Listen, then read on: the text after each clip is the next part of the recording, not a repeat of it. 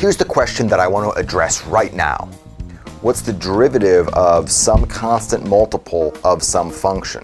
Now, in this case, the constant multiple is 2, but of course that 2 could be replaced by any fixed number. If you don't like the ddx notation, another way to ask this question is this. If you've got some new function g and it's this constant multiple times f, again in this case I'm using 2 as the constant, the question is what's the derivative of g in terms of the derivative of f? To gain some intuition, let's pick a specific example and look at a graph. So here's the graph of just some random function. Let's suppose that I stretch this graph in the y direction. So now I stretch the y-axis, and that corresponds to multiplying the function by a constant value, in this case 2. How do the tangent lines change when I do this stretching? So if I double the y-axis, the function changes by twice as much for the same input change.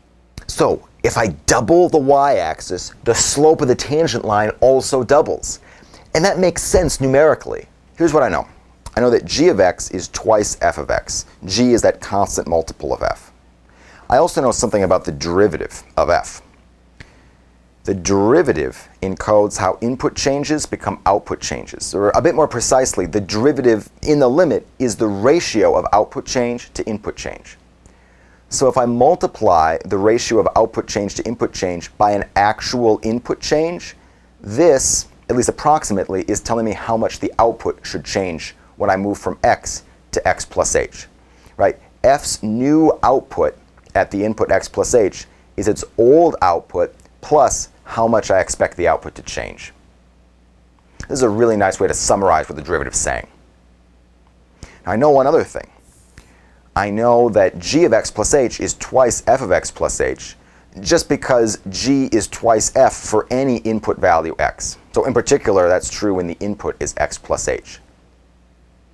Now, these two statements are connected. Right? g of x plus h is twice f of x plus h, and f of x plus h is approximately this. So I can combine those two statements together in this statement.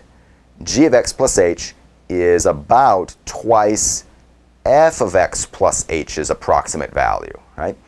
Twice f of x plus twice h times f prime of x, which I've written as h times twice f prime of x. I can make this a little bit nicer. Since twice f of x is g of x, I can replace this 2 times f of x with g of x. And this is really looking good. This is telling me that G's output at x plus h is about G's output at x plus how much I change the input by times some quantity. Now, considering that the actual derivative of G would tell me some information like this, that G's output is about G's old output plus how much I change the input by times the derivative, you're beginning to see what's going on here, right? Look, I've got the derivative of g here, and I've got twice the derivative of f here. And if you sort of believe that these statements are connected in this way, you might then believe that the derivative of g is twice the derivative of f. The derivative of g here is twice the derivative of f. We can formalize this as a rule. Here's the constant multiple rule. So let k be a constant, and suppose that f is just some function which is differentiable at the point a. g is that constant multiple of f, so g of x is k times f of x. Given this setup, what the constant multiple rule is concluding is that the derivatives are related in the same way. The derivative at the point a is k times the derivative of f at the point a.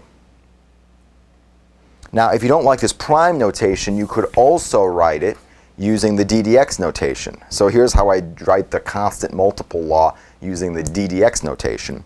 The derivative of k times a function is k times the derivative of that function. I encourage you to keep practicing. With time, you'll be able to calculate the derivative of just a ton of different functions.